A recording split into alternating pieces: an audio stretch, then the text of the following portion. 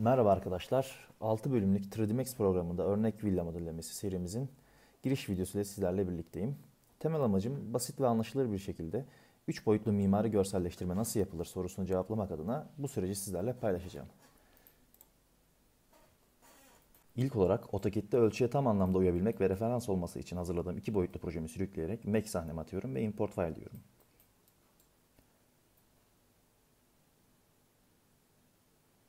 Çizgisel dosyamı tek başına hareket edebilmesi için grupluyorum.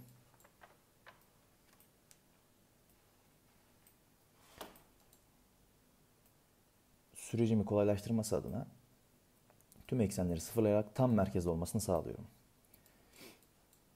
Çizgiselimin görünürlüğünde bir problem var gibi. Bu yüzden rengini beyaz yaparak bu sorunu çözmüş olalım.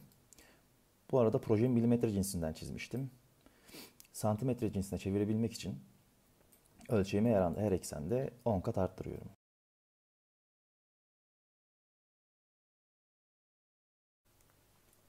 Şimdi projemizi yükseltmeye başlayabiliriz. İlk olarak Create bölümünden Line objemizi seçiyorum.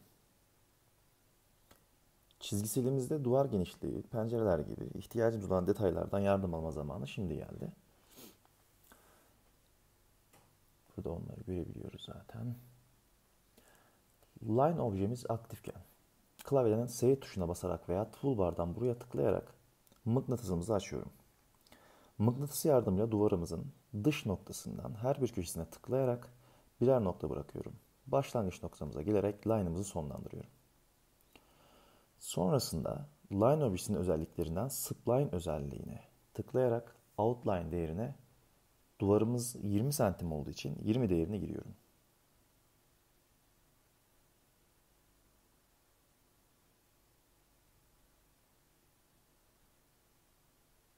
Sonrasında Extrude'a tıklayarak yükseltiyorum. Zemin katımızın duvar için yaptığım işlemleri birinci katımızın duvar için de yapacağım.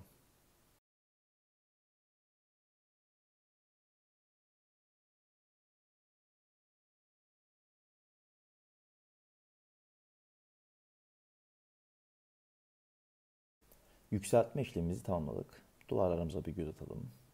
Bu arada klavyemin alt tuşuna ve mouse'umun scroll'una basarak gezintimi yapabiliyorum. Sırada cam ve kapı ayarlarımız var. Camlarımızı ve kapılarımızı yerleştirebilmemiz için buraların duvarımızda görünmesi gerektiğini tahmin ediyorsunuzdur. Bu yüzden camlarımızın veya kapılarımızın kütlelerini bu duvardan koparmamız gerekiyor. Bunun için box objemizi seçiyoruz. Burada pencere yerlerini görüyorsunuz. Bu pencere yerlerinde işlem yapacağız.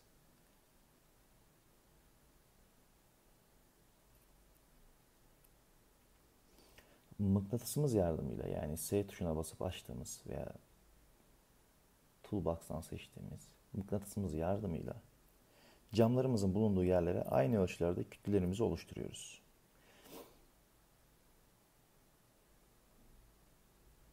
Kütlemizin özelliklerinde yüksekliğini 220 yapıyorum. Çünkü mimari standartlara göre dış cephedeki kapı veya pencere yükseklikleri 2 metre 20 santimlidir. Modern bir villa tasarlamayı düşündüğüm için de pencerelerimi zemine kadar yapıyorum.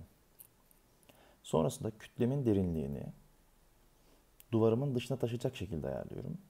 Tüm pencerelerim için bu kurallara uygun kütlelerimi oluşturarak devam ediyorum.